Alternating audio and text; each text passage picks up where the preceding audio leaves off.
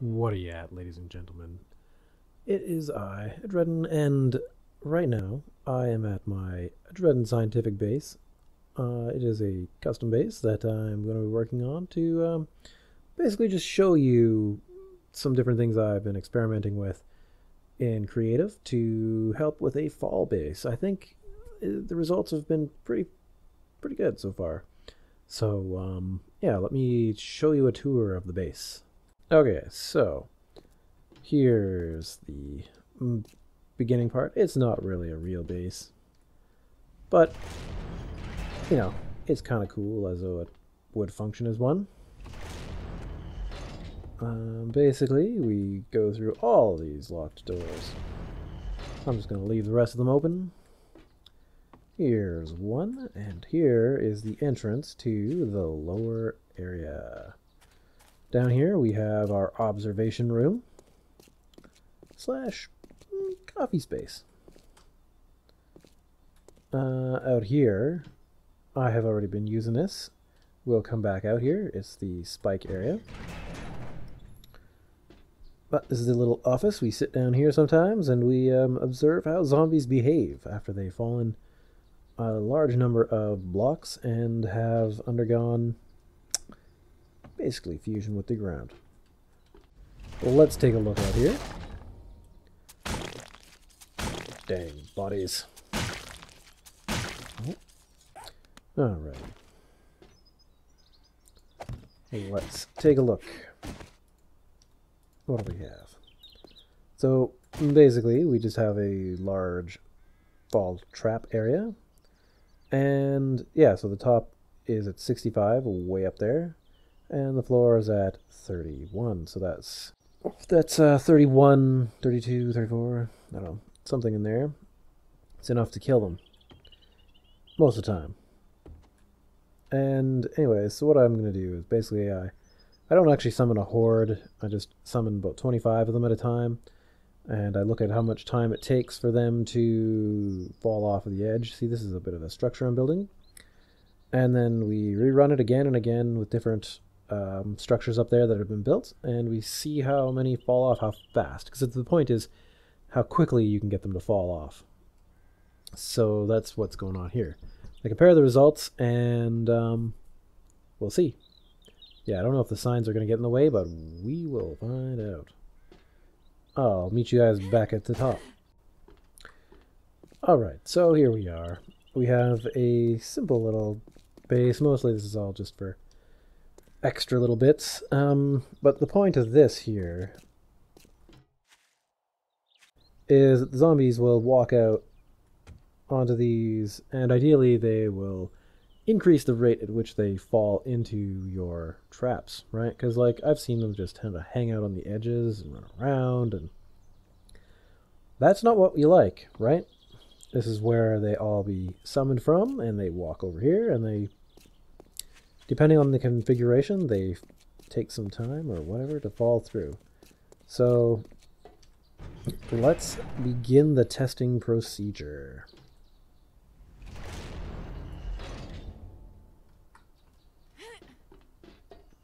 Up here is a nice little observation area. And yeah, so let's let's do this.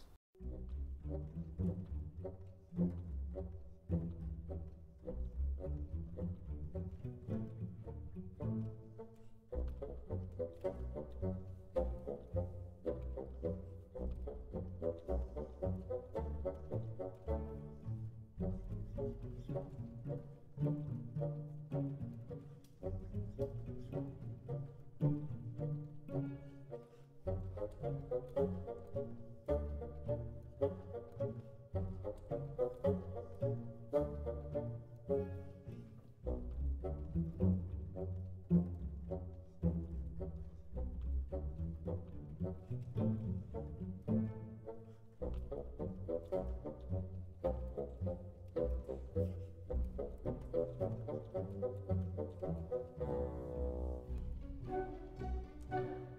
you.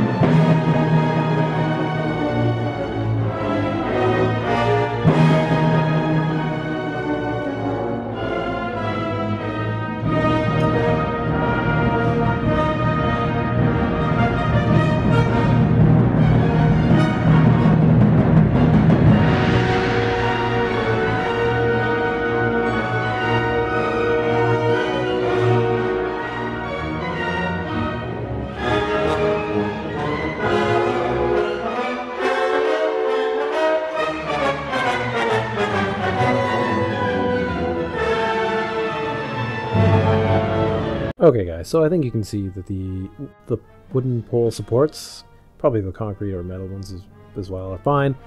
Uh, seem to be the best. They allow the zombies to walk across them, and then once they're walking, they tend to fall through the little gaps, and it seems to be a pretty efficient way to get them to crawl off the edge of the fall trap. Hopefully that helps your base. Alright, so here we have the different uh, data that I collected after examining all the um, the videos that were recorded during the experiments. And so as you can see, I summoned the subjects that we have captured and dispersed them, and uh, 25 at a time of these bows. And most of the times we had a couple spiders, so we tried those as well. And what you can see here is all the different types of um, coverings, I'm just going to call them, that you can cover your fall trap with to see if it increases the surface area at which they fall through. Um, so uh, I did the 25 subjects and then how long it took the first one to actually fall down. And so as you can see, the sloped edge here was 43 seconds, and then um, the various different kinds of them, the different, uh, the hashtag, the different types of wedges were like a minute. Um, seven post with the same alignment, and that might differ. Uh, more study might elucidate the um, what happens here uh, with different angles of approach from the zombies. But uh, 53 seconds, eh, four rows of the uh, support posts, 20 seconds, not bad. But the best, of course, was these uh, support posts perpend or per perpendicular. These, uh, yeah, funny ones. And um, yeah, so it took nine seconds for all of the subjects to fall down or go around or whatever. Like they, most of them fell down really fast. Um, if you look at the, you know, first subject down, you can see that these numbers basically reflect this. Um, you know, taking the longest. This one, the quick. This one was a quick first fall, but all in all, these subjects took a long time to fall. And yeah, here you can see uh, graphically that the worst was this three double wedge tip, which is the wedge tip with the little second part to it. And um, the seven post, same alignment, uh, was not bad either, I guess. I think the vert vertically putting those ones, they might actually do really well. They might do on par with the perpendicular ones, but we'll see in a future study. But anyways, so it took uh, just like nine seconds for these little guys to fall down. And similarly, the results are quite the same, except for this one. Uh, that these guys, the first one fell down really quick, and of course, all of them fell down really quick. So this is basically from entry right at the very edge to when they fell. I think that basically covers that. So uh, if you found that useful, give us a like and a subscribe perhaps if you want more interesting content. I try to experiment with things every now and then and try to find out new ways of doing things. Anyway, uh, with that, I hope you enjoy whatever game you're playing out there. Keep experimenting and having fun. And I will see you in some other video. Thanks. Bye.